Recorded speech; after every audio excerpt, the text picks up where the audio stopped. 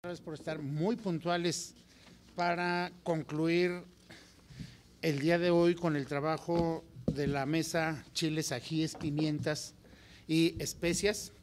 Y para cerrar este, esta jornada vespertina, pues realmente fue muy impresionante que tenemos el cierre con uno de los laboratorios biológicos, culturales y alimenticios uno de los tres grandes laboratorios biológicos, culturales y alimenticios que ha conocido la historia de la humanidad, que es el Mediterráneo. Y en el Mediterráneo, una parte lo abre y cierra España, la otra parte lo abre y lo cierra el mundo grecolatino, más latino que griego. Entonces, pues la mesa de hoy cierra con México, Italia, los productos alimentarios que nos unen. Y es una mesa redonda en donde participan Valentina Lapicirela Zingari, Pier Carlos Zingari y Roberto Valenti. Perdón por la pronunciación, pero espero que les haya dado una idea de que nuestros personajes. Leo rápidamente un resumen de su trayectoria. Valentina Lapicirela es doctorada antropóloga italiana con una experiencia de 20 años de investigación internacional en el campo de la etnografía, con enfoque territorial y una especial atención a las cuestiones de la memoria, la participación y la comunidad narrativa biográfica como herramientas para la ejecución del patrimonio cultural, conocimientos y habilidades. Trabajo impulsado por el deseo de hacer la narrativa paisaje visible como una forma de propiedad y el reconocimiento de las múltiples historias que viven en tiempo real y el espacio. Ha acumulado muchos años de experiencia en equipos multidisciplinarios y esfuerzos para traducir los resultados de su investigación en el lenguaje de museo. Varios museos etnográficos, establecimientos y exposiciones celebradas en un enfoque de investigación participativa han sido resultado de su ardua labor. Cuenta con una gran experiencia en proyectos internacionales financiados por Europa. Una habilidad adquirida de ella es la construcción de bases de datos para los archivos orales y sonidos en una dimensión internacional. Desde el año 2009 trabajó en, la, en una ONG italiana, Simdea, del ICH, Instituto Cultural... No, de la Patrimonio Inmaterial. Regular de la UNESCO allá. Ah, ha impartido conferencias para evaluar la solicitud de candidaturas a la lista de patrimonio cultural inmaterial en el marco de la aplicación de la Convención para la salvaguardia del patrimonio cultural inmaterial y es responsable del diálogo entre el grupo italiano de la UNESCO acreditada ONG y el foro de las ONG. Piercarlo Zingari es italiano con estudios en el sector forestal y economía forestal y planificación. Tiene experiencia de trabajo internacional de 34 años con organismos públicos y privados, incluyendo múltiples sectores, biodiversidad, la silvicultura, el desarrollo rural, el agua y el manejo de cuencas, bioenergía, ciencia, investigación, enseñanza y la formación en universidades, proyectos de investigación, políticas y estrategias a nivel local, nacional e internacional, la negociación y definición programas y proyectos de diseño, implementación y gestión, consultorías en la Unión Económica Europea, la FAO, la UNESCO, la CEPE, Banco Mundial, organizaciones no gubernamentales y empresas privadas. El objetivo de su trabajo es la conexión entre los recursos naturales y humanos como clave para la conservación, la gestión y las necesidades económicas. Él ha estado viviendo y trabajando en muchos países del mundo y es autor, coautor y editor de más de 100 publicaciones. Roberto Valenti Nació en Italia, preparación académica en ciencias políticas y tiene un grado en geografía. Trabaja en biología ambiental en la Universidad de Roma desde 1996, donde desarrolló la investigación en tecnologías innovadoras aplicadas a los recursos naturales, sistemas de ayuda a la decisión y de cooperación internacional. En la actualidad, está trabajando con una beca de investigación en el proyecto Conservación y Uso Equitativo de la Diversidad Biológica en la región de la SADC del Sistema de Información Geográfica para Espacial Decision Support System Sistemático, con una especialización en geobotánica. Ha estado trabajando en muchos países y es coautor de numerosas publicaciones.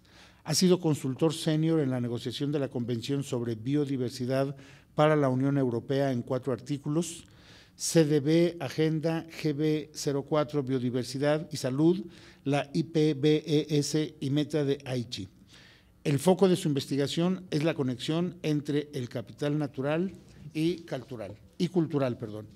En ese orden vamos a tener 15 minutos en promedio para cada uno de nuestros panelistas y le pedimos, en este caso, pues las damas primero, a Valentina Lapichirela Zingari, o es en función del número de sus presentaciones. Correcto. Entonces empezamos con Pier Carlos Zingari. Por favor. Muchas gracias. Muchas gracias. ¿Me entienden? Sí. Eh, vamos a empezar con, una, eh, con el año 2015, en efecto. Eh, porque en el año 2015 hemos tenido en Italia, México e Italia colaboraron mucho y como muchos de ustedes saben, en Italia hemos tenido el Expo de Milano sobre el tema de la alimentación. El título era Alimentar el planeta, energía, energía por la vida, para la vida. Y ha habido varios acontecimientos, varios eventos, varias colaboraciones, sobre todo eh, dos intercambios entre México e Italia. El 22 de mayo hemos tenido durante el Día Internacional de la Biodiversidad varios representantes de México. Hemos tenido eh, la presidenta eh, del conservatorio, hemos tenido el responsable de la política internacional del eh, Ministerio del Medio Ambiente mexicano, de la Semarnat. Hemos tenido el secretario de la Convención sobre la Biodiversidad y varias otras personalidades, inclusive el comisario europeo del medio ambiente. Saben que en la Unión Europea hay comisarios que son como los ministros. Eh, había el ministro comisario europeo para el medio ambiente el ministro italiano, evidentemente, el 22 de mayo. Y hemos hablado sobre todo de la eh, biodiversidad en el marco del Expo, entonces de la alimentación. Hemos tenido también eh, en el mes de septiembre, el 23 de septiembre, otro eh, evento con representantes mexicanos sobre el tema de la alimentación, la biodiversidad en ambientes extremos. Y por México representaban regiones de semidesierto. Bueno, esta colaboración en 2015 eh, representa un punto eh, de, relación entre los aspectos de la biodiversidad y de la cultura de la, alimentación. Es por eso que estamos aquí invitados en el Foro Mundial eh, y tenemos que, agradecer los, los, organizadores, los organizadores y todos porque estamos realmente muy eh, em, impresionado para la importancia que tiene este acontecimiento, este, este, evento, no solamente por México, sino por el mundo entero, eh, todo el mundo, ¿eh? y, Italia, pero muchos otros países.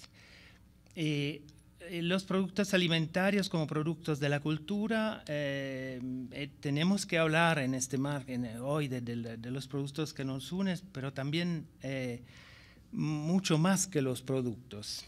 Y en efecto, más allá de lo que aparece en los datos oficiales, digamos, de los productos cuantitativos, hay eh, detrás los productores, hemos hablado hoy también de los productores, y eh, todo lo que es las prácticas, los paisajes, las interacciones entre la biodiversidad y la cultura.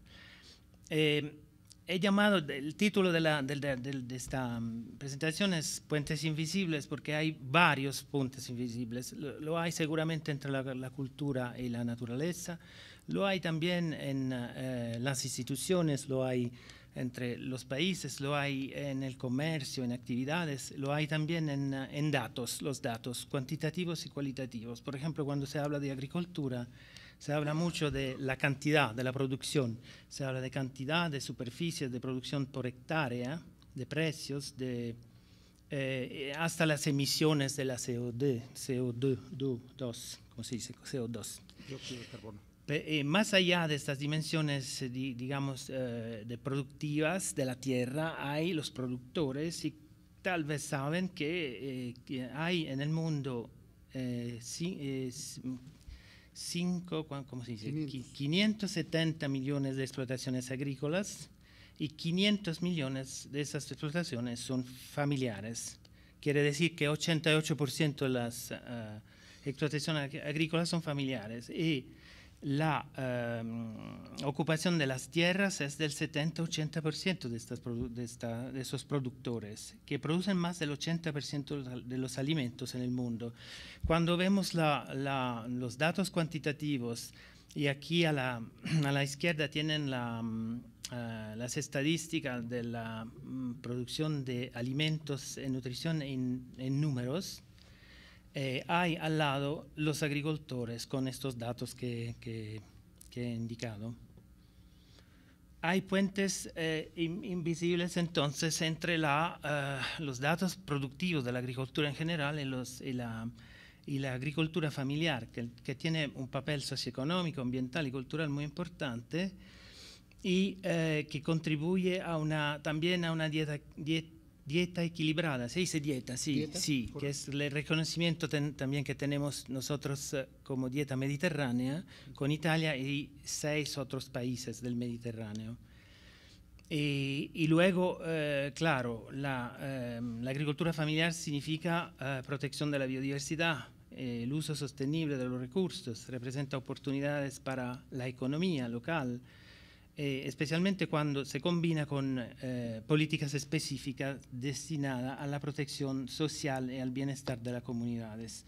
Esas son eh, palabras y, y, y, y, proposiciones y tal vez decisiones de organizaciones internacionales. Esas son palabras de la FAO, por ejemplo. en este sentido, México e Italia ah, tienen productos que, que, que nos unen, pero hay sobre todo sistemas agroalimentarios que como se han eh, definido por el, um, el, reconocimiento de la gastronomía mexicana son modelos culturales completos y como se han definido por la, dieta mediterránea son eh, estilos de vida. La dieta, eh, parece que en griego, eh, dieta significa una uh, actividad de cada día, un estilo de vida diario como, eh, no, es, no es, es, un encuentro, es una, una realidad de, cada día. No es solamente una dieta en términos nutricionales, es mucho más. Eh, los puentes invisibles eh, naturalmente están entre la naturaleza, la biodiversidad y los ecosistemas y la cultura. Eh, como modelo de estilos de vida, la biodiversidad juega, juega un papel esencial para la, la, alimentación, está claro. Hay una dimensión cualitativa, social y cultural que nos permite de disfrutar, utilizar y transformar las especies en cada ecosistema, adaptándose a las condiciones locales, a veces modificando positivamente. Eso es otro aspecto eh, porque cuando se habla de biodiversidad, mmm, y lo han entendido, se, se, entiende a menudo es negativo, se está perdiendo la biodiversidad, pero la biodiversidad no se está perdiendo solamente en nombre de especies, se está perdiendo en, en, en varios otros, a otras dimensiones, y la agricultura, la agricultura familiar, la, la, la producción de alimentos contribuye a mantener una biodiversidad. México e Italia tienen eh, mm, varios aspectos cualitativos de la biodiversidad que se resumen en la presentación eh, que, que, va mm, a hacer Roberto, mi colega de la Universidad de Roma, eh, con los, entre, los, entrelaces con la cultura. Sobre la biodiversidad, eh, quería decir que la um, Convención tiene mm, muchos años, muchos más que la Convención del Patrimonio Cultural y Material. La eh, Convención de la Biodiversidad es 92 y pocos años después, la primera, uh, el primer, primer reporte mundial sobre la biodiversidad se llamaba Cultural and Spiritual Values of Biodiversity, la, eh, los valores culturales y espirituales de la biodiversidad. Mm. Entonces se marcó inmediatamente una vez eh, eh, firmada y, definida la, Convención sobre la Biodiversidad, ese aspecto cultural y espiritual. Y en este, eh, en esta, en este reporte se encuentran casi todas las la, la, reflexiones, los datos, las, indicaciones sobre las producciones alimentarias, los, los productores, la agricultura y aspectos relacionados a la a la, a la gastronomía y a la, y a la cocina. La, la, la um, interrelación en, entre, entre um, diversidad biológica y diversidad cultural eh, que, que, se combinan eh, salvaguardándose mutuamente. La biodiversidad eh, soporta la diversidad cultural y, y, y el, el, el, contrario, la diversidad soporta la, la, la diversidad biológica. Eh, para lograr este objetivo fundamental podemos utilizar varios métodos e instrumentos por ejemplo, científico, de investigación, con más interdisciplinaridad, de comunicación, capacitación y con aspectos institucionales. En, Italia, eh, en el marco de esta convención, se ha elaborado en, eh, el año pasado un instrumento a, la vez científico y de comunicación y eh, político que se llama la Carta de Roma. Carta de Roma es un documento oficialmente de la Unión Europea hoy que quiere, el objetivo es fomentar todas las sinergias entre el capital natural y el capital cultural con un enfoque sistémico de los conocimientos, las capacidades y las acciones concretas. Eso podría ser, y en conclusión, podría ser en eh, el año que viene, pasando el año que viene, México va a tener eh, eh, una oportunidad única que es la reunión de las partes de la Convención sobre la Biodiversidad a finales de del año 2016. Es una ocasión única para poner a la atención de todos los países del mundo los puentes visibles e invisibles entre la agricultura familiar, la cocina tradicional, este modelo cultural completo de la gastronomía mexicana con la diversidad biológica considerada como un complejo dinámico de especies, ecosistemas y paisajes. Eh, el, reto es demostrar científicamente y políticamente estas relaciones profundas entre alimentación y biodiversidad a partir de los reconocimientos de sus modelos agroalimentarios patrimoniales en el marco de la Convención del Patrimonio Cultural Inmaterial y en el marco de lo que se decidió a la precedente eh, reunión de las partes eh, en 2014 en uh, uh, Corea, Corea del Sur, donde se decidió, esta es otra oportunidad única, se decidió de poner en el programa de la reunión en México en el año que viene ese tema de la agricultura, de la alimentación, de la salud también. De la comida. De la comida, eh, de la, eh, claro, de, la de las relaciones con la biodiversidad. Ahora Roberto, el colega, va a darle más indicaciones de datos. gustas, te paso la computadora. Ok. E se no ti, Resilin.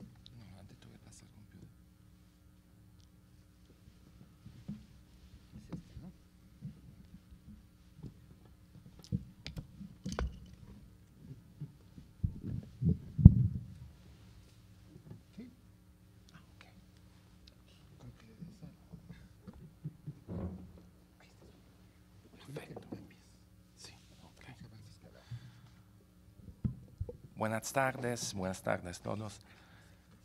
Voy a hablar español, perdona mi castellano. Yo prefiero hablar español que en inglés. Eh, es mucho más eh, calor ¿no? entre los dos.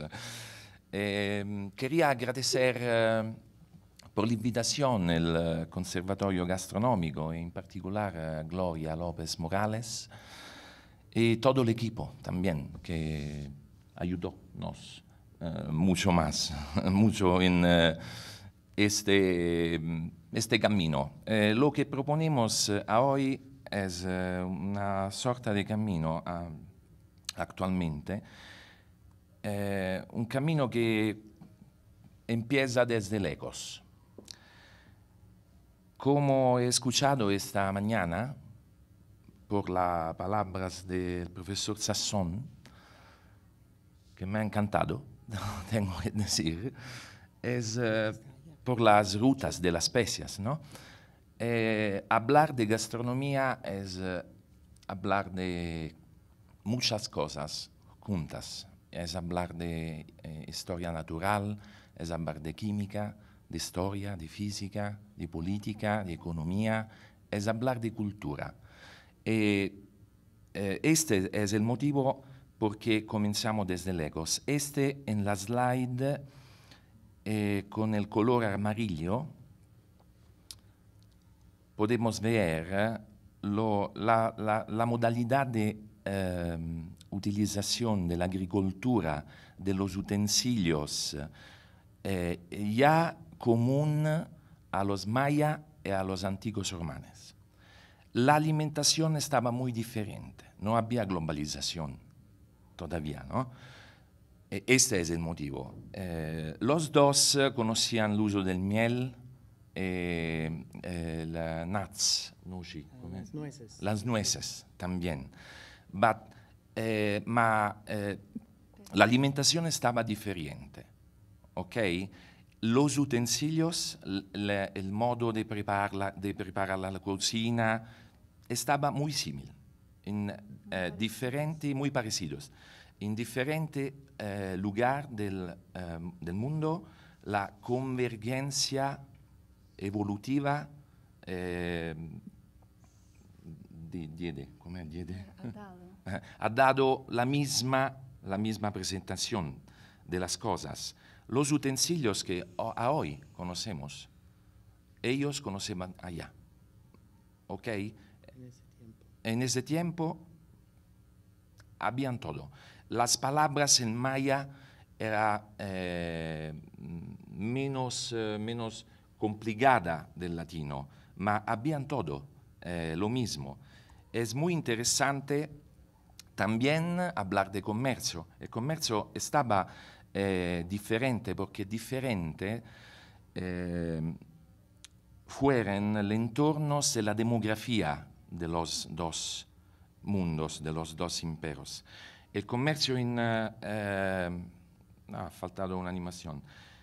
En México el maíz eh, eh, era movimentado, movimentado eh, entre no mucho más eh, lejos distancia, ¿no? Eh, porque la demografía de Maya estaba eh, con pequeñas ciudades. Roma era una ciudad con eh, un millón y trescientos mil habitantes en el primer siglo eh, dopo, eh, a- a- después eh, Jesús Cristo. Eh, tenía que haber comercio de uva, de óleo, porque en la península itálica no estaba suficiente, no más. Aceite, sí. Aceite, el óleo. Ah, aceite, aceite, olio. Eh, el camino que proponemos es un enfoque científico y metodológico. Un enfoque científico y metodológico que empieza con una curiosidad. Biodiversidad, en latín, es eh, diversidad de la vida. Por la lengua maya, la palabra zea mais, usada da Linneo para la descripción científica de la planta, era causa de la vida. Eh, el enfoque científico aquí utilizado eh, empieza de esto. En el mundo, menos del 30% de la, poblo- de la población mundial sabe lo que significa la biodiversidad. El 50% solo han escuchado hablar de ella y cerca del 20% no sabe nada de biodiversidad. Los porcentajes se reducen aún más cuando se trata o se refieren de la biodiversidad agroalimentaria. Esta es muy importante porque la biodiversidad, sin embargo, no se aplica solo a la flora y a la fauna, sino que uno es uno de los ladrillos, mattoni, la- ladrillos, ¿no? Uno de los ladrillos eh, de la evolución que persigue cada ser vivo.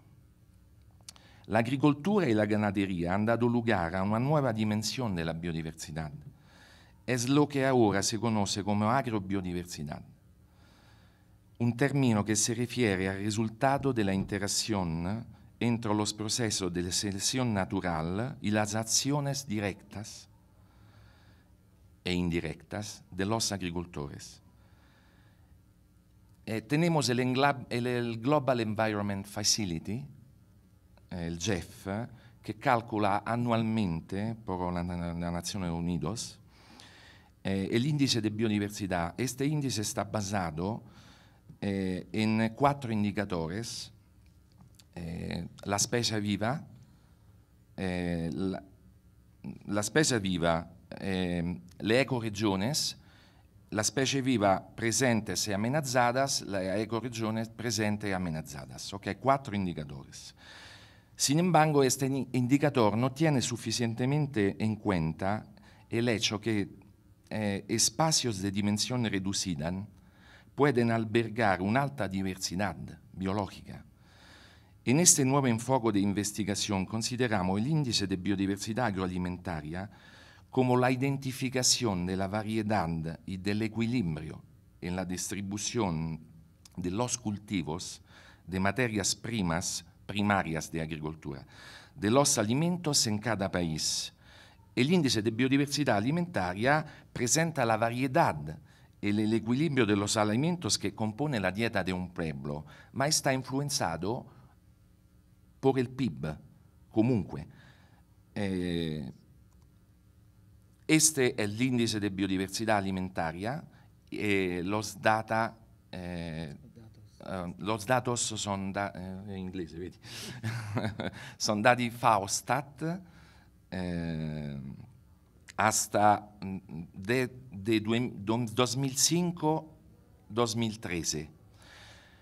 E come, come, se puede ver, il blu è il uh, maximum percent, eh, porcentaje,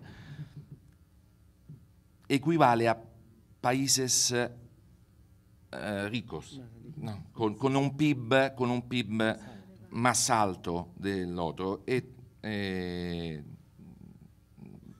esta es la, la, la escala, ¿no? Sí. México es 60, 75, Italia es 75, 80, ma eh, repito, es muy influenciado por el PIB. Este es no influenciado por el PIB. Esta es la primera slide. Eh, se puede ver como solamente ocho países en el mundo producen más del 70% de los que comen. Hay, hay ya tres, tres centros. Mesoamérica y Perú, cuenca del Mediterráneo e China. Se la, porcentaje la abbiamo al 60%, está muy claro. Lo que Vavilov decía en el 1926, 1926, los eh, centros de las plantas cultivadas. Está aquí porque, mira aquí, esta es el gradiente de biodiversidad mundial de todas las plantas, no de las plantas cultivadas. Muy la, la, paris, la similitudine. Parecido. Parecidos. Eh, ¿Cómo es parecidos? Este es lo de Arlan, center, non center. Ancora más claro. Este para decir que el índice de biodiversidad agroalimentaria, este es el total del mundo, eh, ci ofrece una panorámica actual de lo que se cultiva, se produce respecto a lo que se come. ¿Ok? E esta es la, la, próxima, la próxima mapas, mapas. Esta es la le, um, área le aree coltivate aree agricole in porcentaje con le aree eh, terrestri del paese, sin agua, mm, con la superficie terrestre. Eh, esta es la cobertura forestal de cada país. Esta es, los datos son datos del 2009-2012 es l'uso di agricoltura ecologica, credo che sia, no? in, in eh, castigiano, biologica in italiano, certificata. Come si può vedere Europa è más, eh, e Argentina e Uruguay stanno empezando, ma in eh, muchos países del mondo la porcentaje sta incrementando. Está incrementando, es un buen valor. Es un buen valor que muy, muy eh, spesso, A menudo. A menudo. a menudo está correlado con la cantidad de áreas protegidas terrestres, porque es muy fácil de hacer un producto ecológico cuando en, eh, en- dietro, detrás, hay un parque, un, eh, un'area conservata, un eh, sito di interesse biologico, eccetera, eccetera. Empezamos con las cosas que nos unen, que es el título ¿no? de la mesa redonda. La dieta es la primera. Esta aquí es la dieta que México e Italia producen por cápita supply. No es lo que comemos, es lo que producimos. Mira los cereales, lo mismo. En México, maíz, en Italia, trigo. Arroz para los dos, ma hay una, e- es muy parecida. ¿Cómo son parecidas la riqueza de los productos locales, el valor colectivo, el valor colectivo de la cultura de la comida? ¿Por qué este? Porque si vemos a los dos aquí, diapo, hay una serie de productos. Estos son 39. Está muy singular, muy curioso de notar que de los alimentos que Faustat decide ser eh, fundamental para la alimentación humana, México e Italia, tú puedes ver, ¿cómo, cómo es? Para retrasar. Ah. Tú- no, no, están, están dando avanti. Mm. Lo que la FAO Ecco, determina. tu puoi vedere che lo, eh, amarillo es Italia e azul es México. México e Italia ah, omnipresenti. El 95% de los productos de Faustat ritenido fundamental son productos cualitativamente, non quantitativamente, eh, e numericamente, de México e Italia juntos. Es singular de notar este. Eh, e siempre con eh, porcentaje de producción, con eh, cantidad de producción muy elevada, como en estos 39 casos. Eh,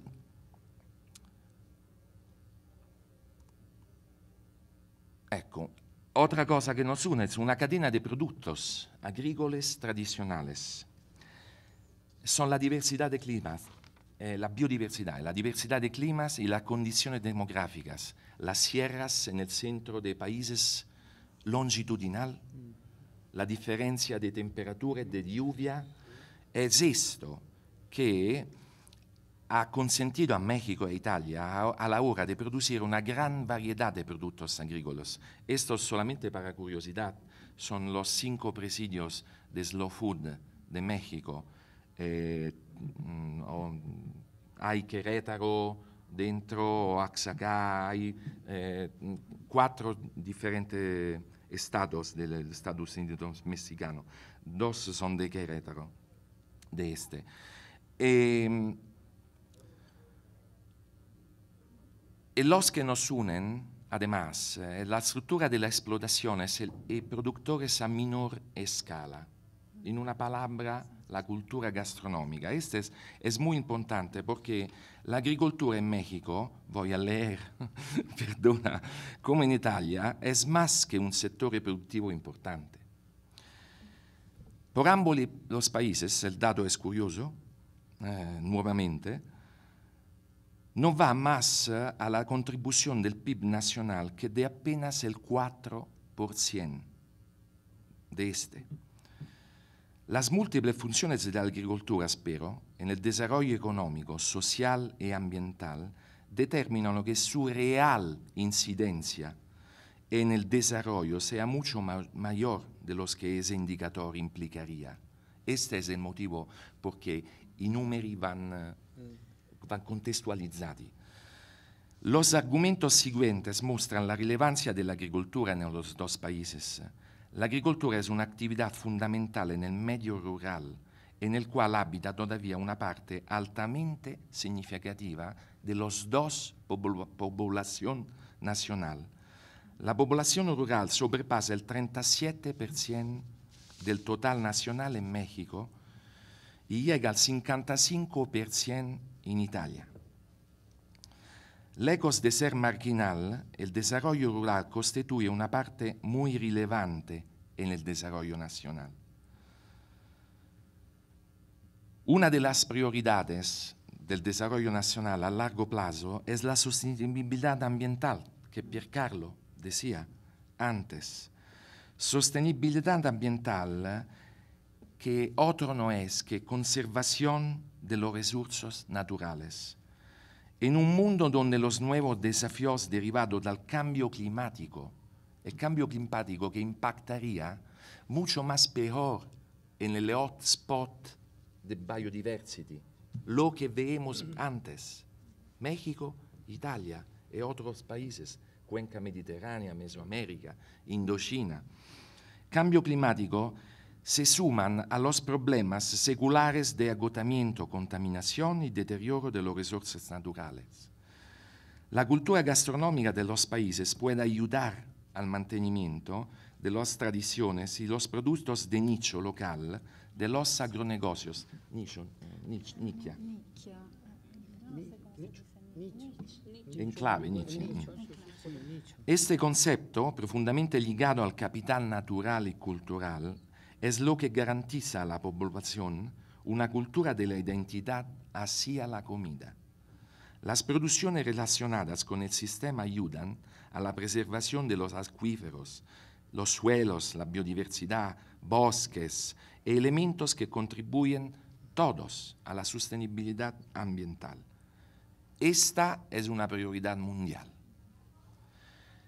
En esta diapo se puede ver este es muy interesante porque ambos países producen una amplia gama de alimentos. Pero lo que es singular de notar es que ambos los países lo producen con una amplia gama de variedad de cultivar. Por ejemplo, México, no se ve, si no recuerdo mal, es 898 898 variedad de maíz para el catálogo. Ah, ok. Sí, voy a terminar en cinco minutos. Para el catálogo nacional. 457 en Italia. Es mucho más. Es, mucho. Es México. Eh, viene de América, ¿no? Ma con el trigo es lo mismo. Es mucho más en Italia el trigo. Ma México, 100, si no sbaglio, 97, ¿no? no, no veo aquí. Es mucho más, Adri, cual, eh, variedad, ¿no? So, posibilidad de desarrollo de estudio. Mira los mercados. En la derecha eh, hay Roma, eh, ceci messicani. Eh, ceci, com'è cecio? Garbanzos. Eh, chickpeas. No, Garba- garbanzos, Garbanzos. garbanzos messicani in, in Italia, ¿no? Eh, ma los colores, lo- el, el tipo de mercado eh, es muy parecido. La comida como elemento unificador, eh, entonces, entre el capital natural y el capital cultural, es México e Italia pueden jugar un papel clave en este estudio. La oportunidad de la COP13, que Piercarlo decía antes, están todos en estas resoluciones. La primera es la número 9 de la CBD y la segunda en la, sego- la Second International Conference of FAO, de, on Nutrition, in Roma eh, a ottobre de- no, no, del do- 2014, en cui Papa Francesco eh, el discorso eh, más, eh, más eh, naturalista, que, que ecológico, que muchos escucharon. ¿no? Eh, el punto es que la gastronomía tiene que ser un elemento de unión, como anche el chef Sánchez antes. Me ha encantado yo también en el discurso. Decía, y como decía el profesor Sasson en las rutas de las especias, un elemento de unión que entre estas convenciones, CBD, FAO, UNESCO, puede ser promovida a través de un estudio a nivel mundial y análisis a nivel mundial. México e Italia, por sus características de patrimonio gastronómico, pueden ser los proponentes como pilota y abrir eh, con un network a la cuenca del Mediterráneo, al Mesoamérica, all'Indocina. Esto perché area di produzione di alta biomassa, de la que altos potenciales ecosistemas naturales y la alta productividad que permiten la existencia de empresas medianas de cortes, más bien pequeñas en comparación con otras regiones del mundo, tiene que ser comprimido en este eh, convenciones, convenciones, ¿no? Y la gastronomía conecta todos estos elementos, como decía antes, historia natural, química, física, es el patrimonio gastronómico. Este es el mensaje que a hoy entendíamos eh, poner. Eh, yo eh, ringrazio per l'attenzione, per l'attenzione muy amable. Eh, gracias a todos. Que tenga todos una buena conferencia. Gracias. Muy bien, pues adelante. Tal, tal vez yo, yo quiero la- eh, hacer la misma cosa, pero Ah, pero, con Pero hay que mi- escogerla. está bien. Sí, hay que escoger. Ho rispettato il tempo. Está bien, está bien. Muy, muy contenta de esta ocasión de cambio. Eh.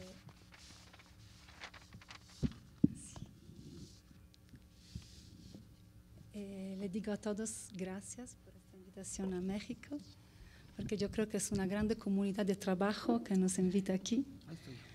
Eh, es interesante eh, la- el esfuerzo que estamos haciendo de poner juntos las palabras de las ciencias naturales, de los que trabajan por la biodiversidad, por, eh, eh, a, a nivel científico, pero también político, con las convenciones, y los antropólogos que se ocupan de esta nueva convención del patrimonio cultural y material, nueva porque relacionada con las otras convenciones del patrimonio, es muy reciente, no es muy bien conocida, y como se decía antes, los, mm, María Pía hablaba de este atraso que tenemos en Europa, eh, esta noción, este concepto de patrimonio cultural material es muy interesante como estructura de diálogo. Y el Europa, con sus instituciones tan rígidas, tan históricamente fuertes, parece como un poco en dificultad a tomar esta, esta ruta. Entonces, yo creo que estamos hoy frente a un challenge, a una, ¿cómo se dice? A un, a un desa- a un desafío muy importante y simbólicamente es algo importante lo que se pasa aquí con el conservatorio.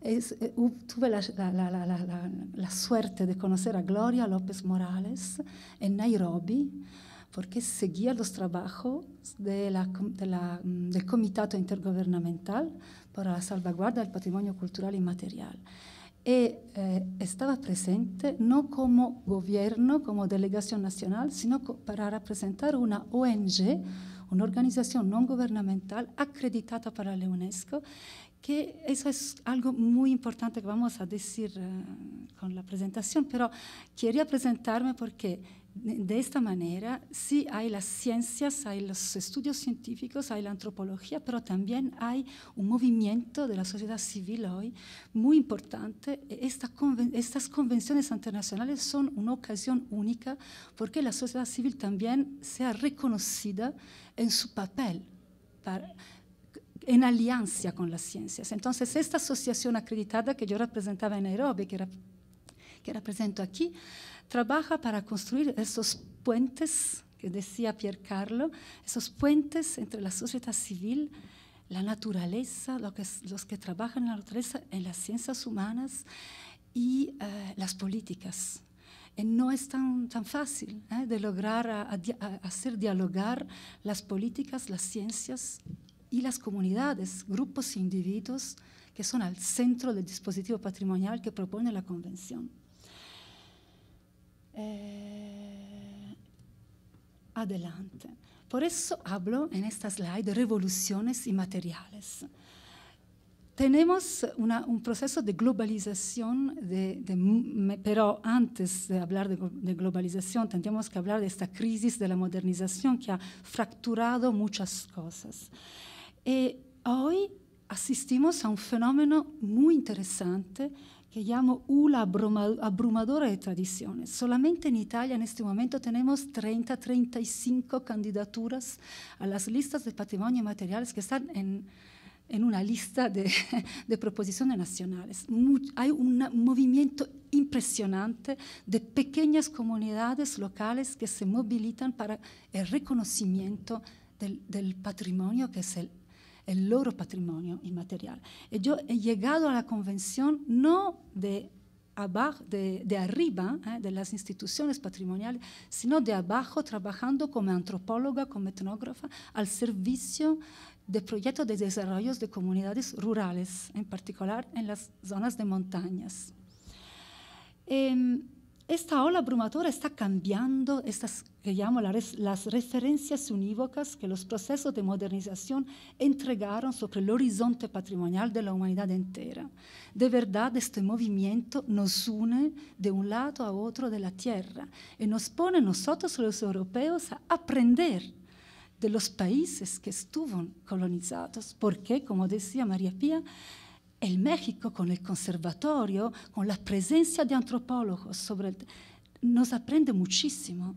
Este modelo no lo tenemos. Sí tenemos un movimiento como Slow Food a Italia que se puso contra, ¿eh? pero es un movimiento contra, es un movimiento muy interesante, pero no está haciendo ese trabajo que tenemos que hacer y que proponer aquí de alianza entre las ciencias y las comunidades de práctica, como se dice hoy en eh, por esto, lo que decía Roberto es muy interesante porque lo que unen, los, lo, los que no, nos unen, Gloria nos propuso este, este título, ¿no? los productos que nos unen, pero no son solamente los, los productos que nos unen, sino los proyectos que nos unen. Yo espero vivamente que estos puentes que que, que, que, unen Italia y México sean puentes muy sólidos para que realmente un modelo de desarrollo diferente pueda unirnos en el, en el, en el avenir.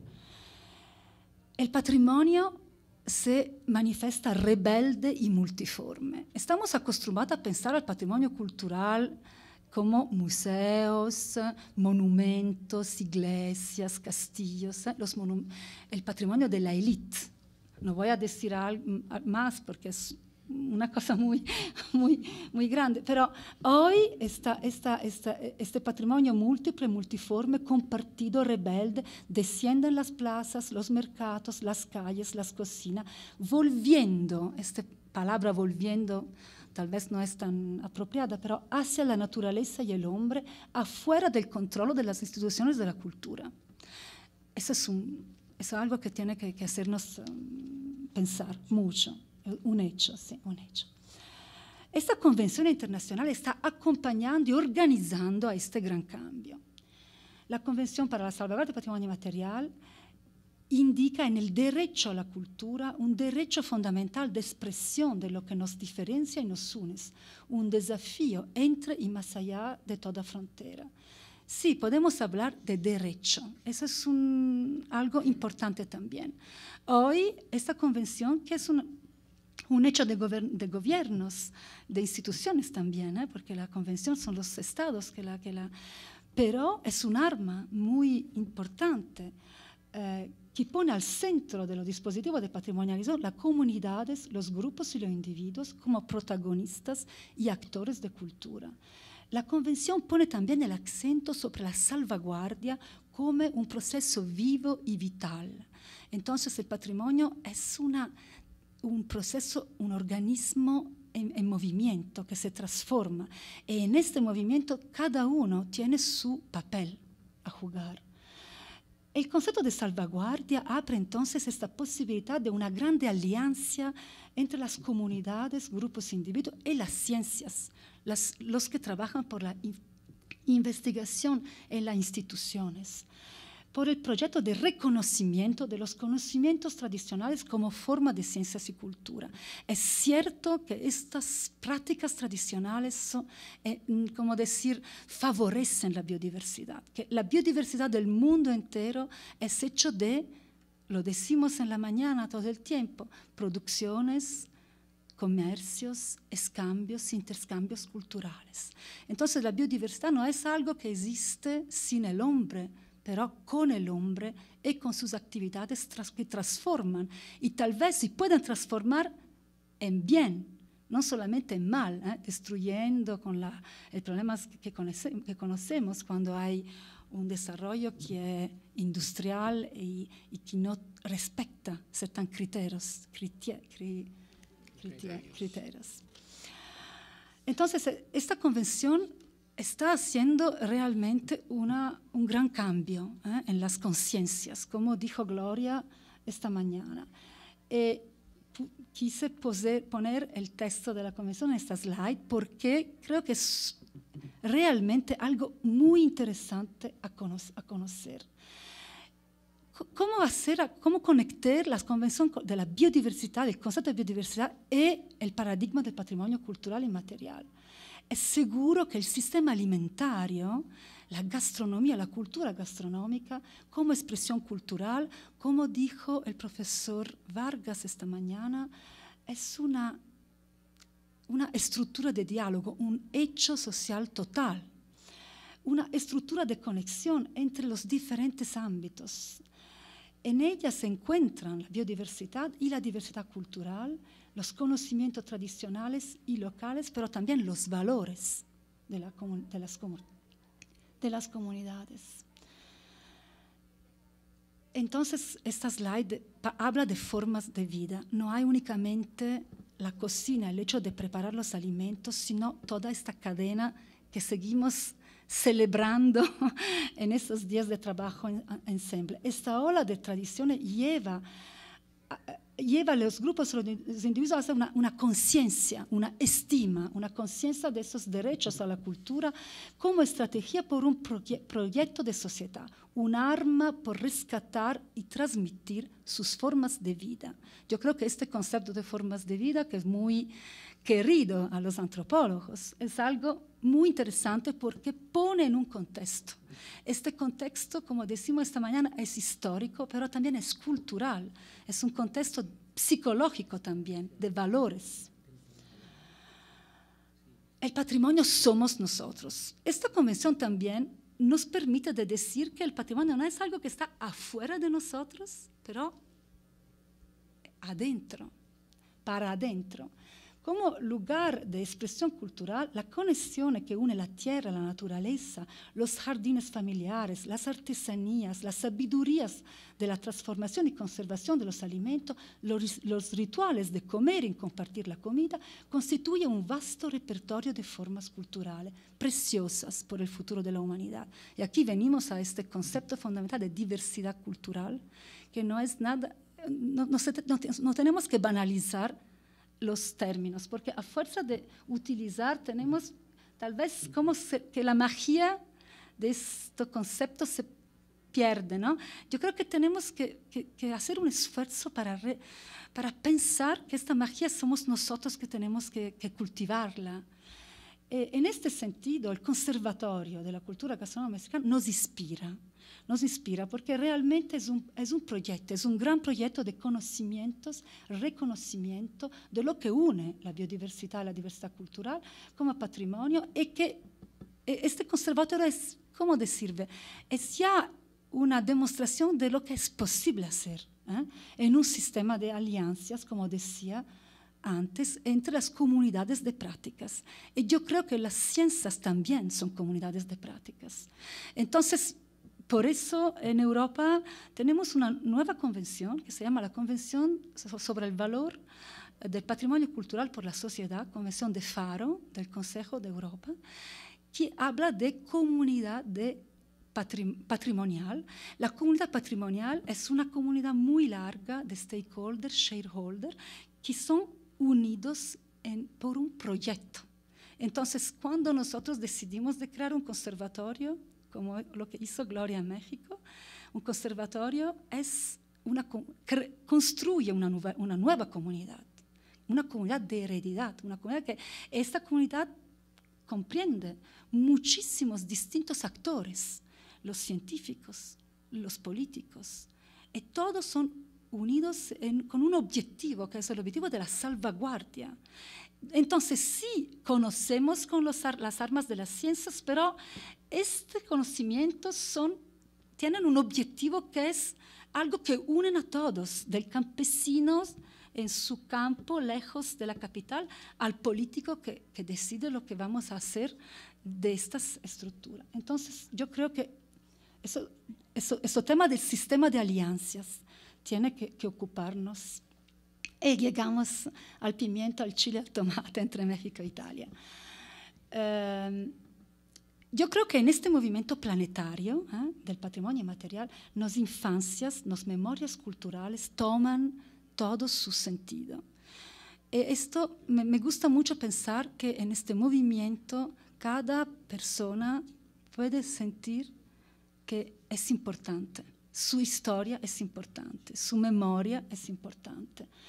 Los productos que nos unen son también paisajes, campos y jardines familiares, recetas tradicionales, estilos de vida, expresiones, en el caso de mi propia infancia, de un Mediterráneo abierto a los viajes y los intercambios culturales. Y voy a, dejarlos con tres ejemplos que son muy cerca de mi vida y de mi experiencia personal. El primo es el ejemplo de mi abuelo. Mi abuelo era un médico, un cardiólogo, que, que, estaba especializado en la relación entre alimentación, estilos de vida y estado psicológico colectivos e individuales. Vino también a México en 50, 58, ah, oui, 68, por una, por una, sí, por una, una conferencia. Pero cuando yo pienso a mi abuelo, pienso al pimentón.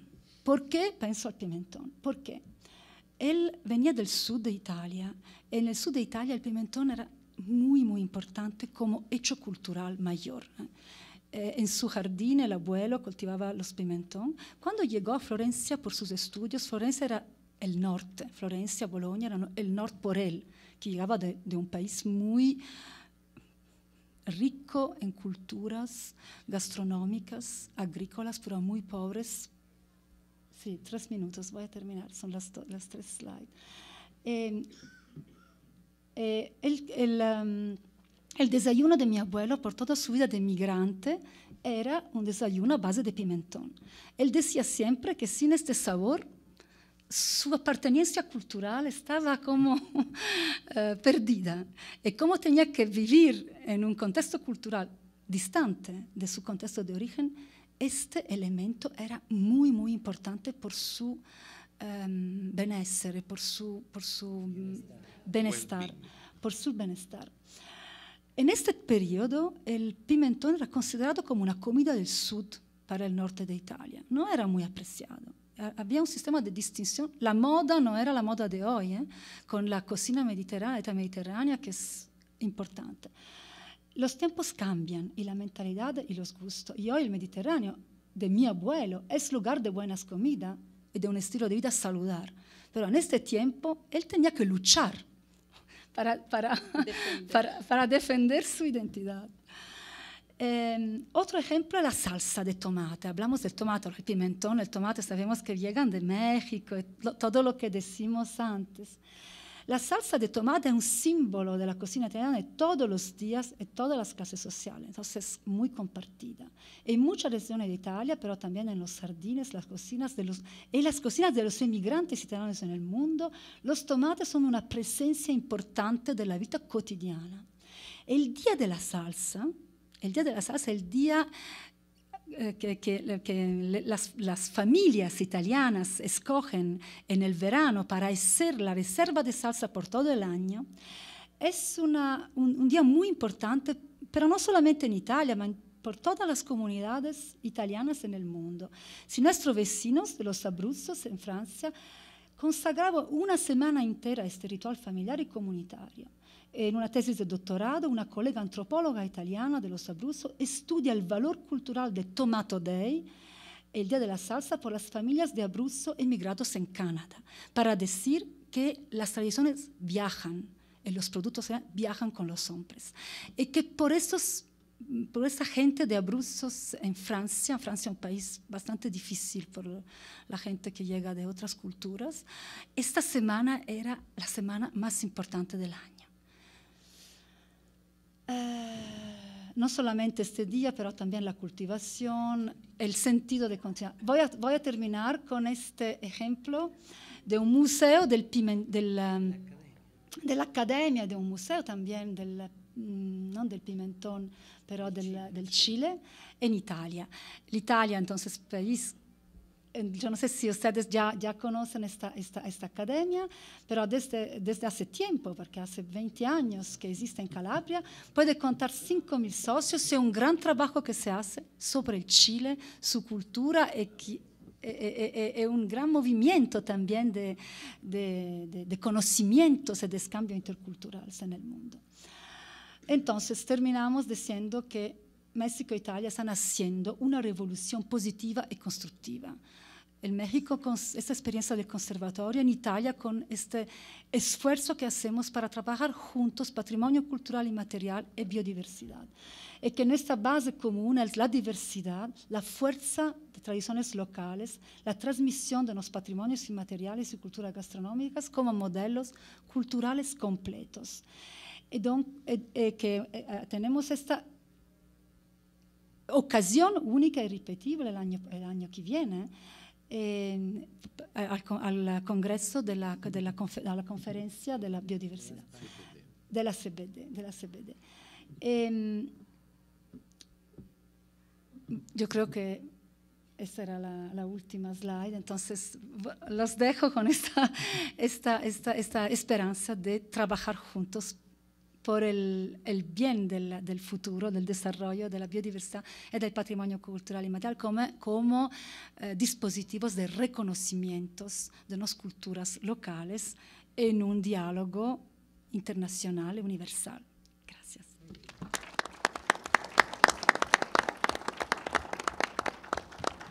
Pues muchas gracias a Valentina, a Piercarlo y a Roberto por sus muy interesantes participaciones. Y pues eh, en virtud del tiempo, yo creo que vamos a dar paso máximo a dos preguntas para que las personas que van a estar en la inauguración no nos extrañen. Entonces, preferible que haya dos preguntas y que nos traslademos ya porque son las 6.40 y más vale tener un tiempo de descanso todos y llegar allá. Entonces, adelante, dos preguntas, por favor, allá atrás. No, más atrás, perdón. Ah, no, entonces ya, es que estoy encandilado acá. Por favor, al es el fue ponente en la mañana. Sí, exacto. Por favor. Y luego atrás. No se oye. No se entiende. Sí, es pequeño. Sí. Pero para que quede grabado. ¿Funciona? Ah, sí, parece que funciona. Bueno, son tres, cuatro observaciones rápidamente. Primer lugar, yo soy testigo de la dificultad que tuvimos en la UNESCO, porque yo estaba al lado de Federico Mayor, cuando por la primera vez fue el rey Hassan II, el difunto rey, que propuso a la UNESCO este concepto de patrimonio inmaterial. Hay que decir la verdad, y tengo la carta que escribió el rey después de una visita de Federico Mayor a Marrakech y le enseñó la Plaza es decir, un lugar de un encuentro cultural extraordinario desde la Edad Media. Pero tuvimos dos años de batallas con el Consejo Ejecutivo de la UNESCO para convencerlos que era algo diferente del patrimonio arquitectónico. Todo el mundo sabía lo que eran iglesias, lo que eran mezquitas, lo que eran también los parques naturales. Eso era fácil. Y llega un momento y le hablamos de algo diferente. Dijeron, pero ¿qué es eso? Eso es la Edad Media. Y les hemos dicho, mira, en el Pacífico hay culturas que no tienen otra cosa que este patrimonio. No tienen, no tienen mezquitas ni arquitectónicos. Esto entonces es para decir a la señora que ya soy, fui testigo de la batalla. La ganamos.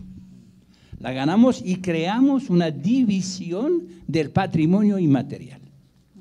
Ahora, el problema de hoy es que se convirtió en una especie de rag bag, como decimos en inglés, donde se ponía todo. Y ves al momento los tesoros vivos de los japoneses al lado de la plaza Malfna y al lado de la cocina. Entonces ella nos dice que hay puentes que crear entre... Estoy de acuerdo, pero es trabajo de, los, de las ciencias. La segunda observación es la dificultad que tuvimos con el conocimiento tradicional. ¿Por qué? El conocimiento tradicional, si lo pones al prismo de la ciencia dura, a veces no pasa, porque son creencias, no son hechos probados científicamente. Si tomas, por ejemplo, lo de las sustancias naturales medicales, ¿cuántas son? Aspirina, digoxina, artemisinina. Cuatro ejemplos. Fuera de estos no hay nada. Son, ah, la menta te puede curar el estómago, ah, esto mi abuela dice que. Es decir, la dificultad que tuvimos con las ciencias humanas, con la antropología y las ciencias duras, es un diálogo que todavía no, no, no lo hemos arreglado. Decir que es una tarea muy difícil y compleja de establecer estos puentes. Y no es una tarea fácil. No es una, porque cuando yo hablo de principio bioactivo, no es un medicamento. El medicamento es un principio que está probado después de ensayos clínicos que pueden durar 10 años y que pueden fracasar y que pueden costar mil millones de dólares a una compañía farmacéutica. Lo que decimos del otro lado, producimos plantas medicinas. Bueno, medicales. ¿Y eh, eh, cuál es el mercado? No sirve para nada. Es decir, que no hay que también mentir. No hay que dar esperanzas cuando no hay esperanzas. Si hablas de productos de nicho, muy bien. Estarán productos de nicho para una comunidad, para un pequeño, digamos, lugar, una aldea, lo que sea. Pero sí puedes hablar de crecimiento, de desarrollo, desarrollo económico y social. Es, son otras herramientas. Es decir, que hay que hacer la diferencia. Y, y, paro aquí, señor presidente, moderador, para decirle que lo que hemos oído esta tarde, claro, eh, sigue lo que Gloria ha dicho esta mañana, decir, este deseo, esta proyección en el futuro, que claro, a mi edad yo digo, bueno, espero que vamos a llegar al puerto, pero es una tarea muy compleja y muy difícil y que ojalá, ojalá que a través de la experiencia aquí de México, la experiencia italiana también, ¿por qué no? Porque es un país tan diverso y para la cuenca mediterránea es un buen ejemplo, es un buen ejemplo.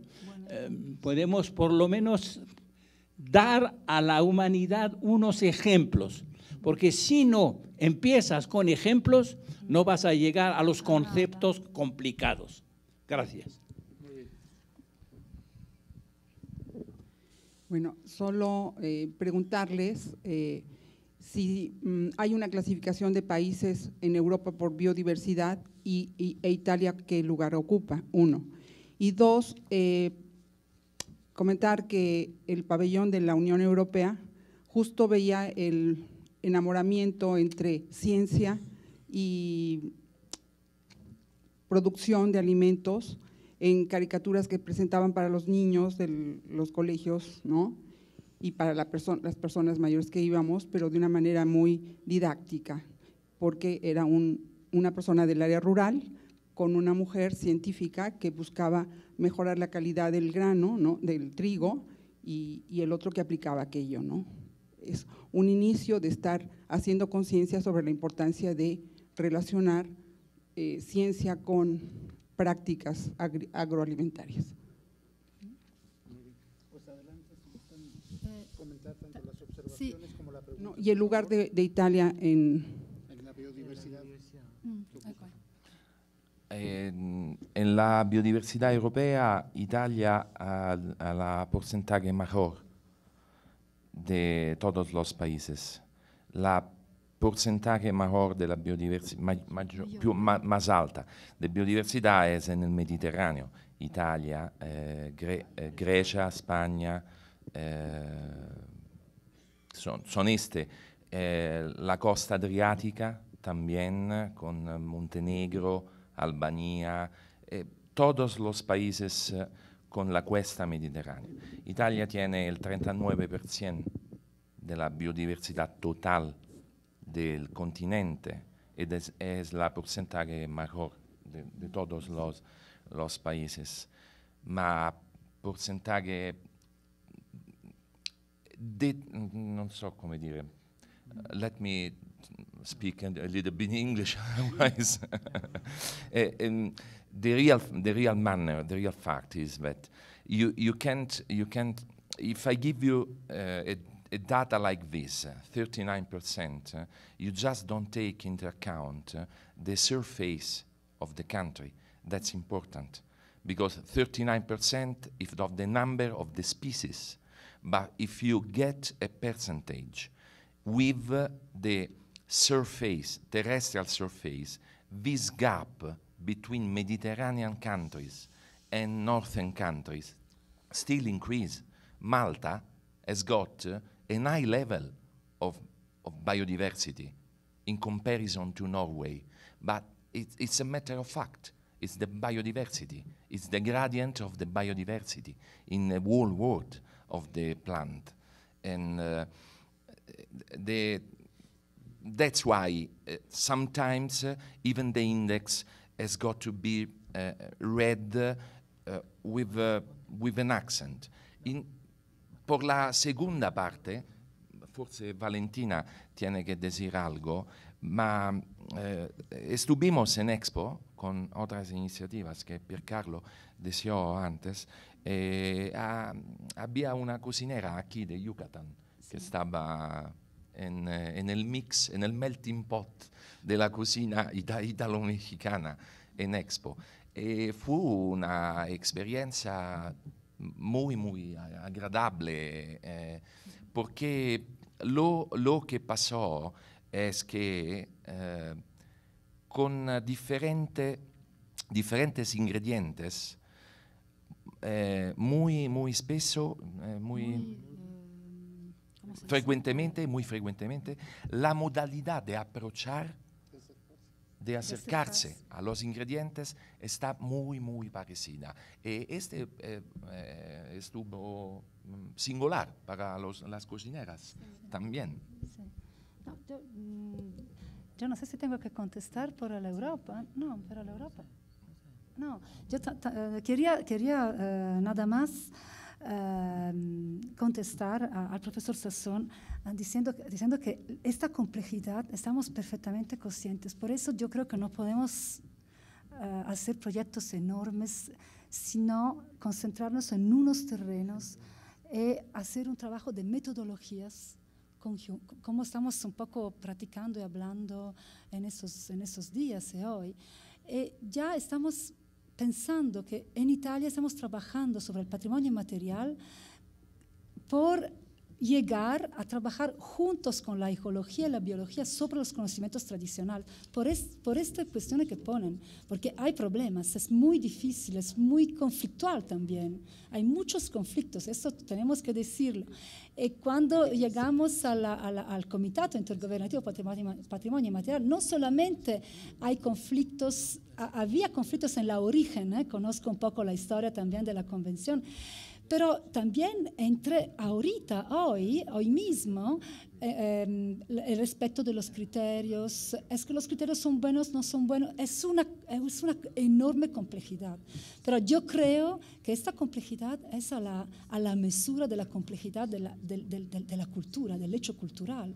Entonces, que tenemos que seguir trabajando juntos en una interdisciplinariedad, porque este problema de, de, los conocimientos tradicionales no lo pueden resolver los antropólogos solos, tenemos que trabajar juntos en equipo. Eso es lo, lo que espero tratamos de hacer entre, entre México e Italia con esta cooperación bilateral en los próximos años. Eh, eh, sí, la segunda, la segunda cuestión. Sí. Eh, la la segunda cuestión, eh, voy a terminar con una cosa por el profesor Sasson, muy simpática, que tengo de decir. Eh, Europa, la Unión Europea tiene una, una política ecológica ah, que yes. puede ser discutible, no, ma agrícola. La PAC, eh, todas estas cosas, ¿no? Ma eh, he hecho un, un ejemplo. La, Hago un ejemplo. La política de la Unión Europea eh, prescribe la posibilidad de hacer OGM, plant species. Mm. Italia, Austria, no, no, lo, no lo echan. Parece que otros países van aumentando ahora. Tiene que, eh, tiene que quedar diferentemente la política de un continente, la política agraria, porque lo que decidió la política agraria de Europa, lo digo da italiano, eh, estuve en el norte de Europa, eh, mucho, mucho de, de los uh, implementos de Europea a las producciones estaban por uh, la colza, ¿cómo es colza? Semi colza o sunflower. Sa, sì, girasole. Eh, nothing, nothing for Mediterranean species. That's, uh, that's include a different concept of ag agriculture. Because as I said before, México, Italia, muchos de los países mediterráneos tienen eh, eh, agrícolas más pequeñas. 3,3 hectáreas es la media en Italia, 5,3 en México también. Ha elegido que es un instrumento de política para regular ¿no? la grandeza. Y lo mismo es en España, en, en, todo el Mediterráneo. Es diferente en el norte de Europa, ma la política agrícola tiene que, que verla con con un ojo global de Unión Europea y un ojo nacional porque los estados que forman la Unión Europea tienen la posibilidad de hacer en, el, en propio algo que no es prescribido de la Unión. Voy a decir algo simpático al profesor uh, Sasson, que puede ser de ayuda. Si, si usted habla con el 99% de los italianos de Marocco. Eh, todos los italianos pueden saber exactamente que este producto viene del Marocco.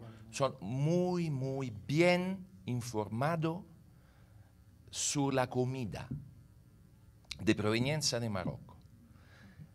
Nel, 2000, nel 2014 había un gran frío en Marocco en febrero e nella televisione italiana eh, hemos visto todo Casablanca con la neve, snow, nieve. con la nieve. El 99% de los italianos que sabían perfectamente los productos de Marocco no sabían che Marocco è nella regione temperata. Temperata. Ne... High season in Marocco también, come in Italia. Marocco is one of the eight country, more than 70%. Questo, eh, este para decir que la competencia de la generalidad de la población, donde la gastronomía es un elemento cultural, respecto el diverso es mucho más alta que respecto a la meteorología o a la geografía. Porque está curioso, ¿no? Que la misma población conoce exactamente los productos del país, pero no conoce absolutamente las condiciones geográficas y piensan que en Marocco siempre caliente.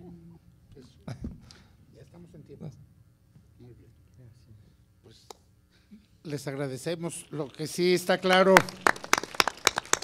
como algunos pensamos desde el campo de la historia, es de que el Mediterráneo realmente cierra en el Golfo de México y que todo este contexto cultural construido por más de cinco siglos, efectivamente todavía tiene mucho que buscar en ese diálogo y esa extensión territorial pues la encontramos en todo el sur de Estados Unidos y ese ejemplo yo creo que es impresionante de esa interconexión cultural. Bueno, pues muchísimas gracias por tan maravillosa mesa, tan maravillosa jornada y están todos cordialmente invitados a la inauguración formal a las 7 de la tarde con las autoridades de este país que ya nos están extrañando ahí a su lado.